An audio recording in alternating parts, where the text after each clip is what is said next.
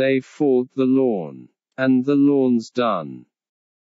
After their homeowner association ordered them to replace their wildlife-friendly plants with turf grass, a Maryland couple sued. They ended up changing state law.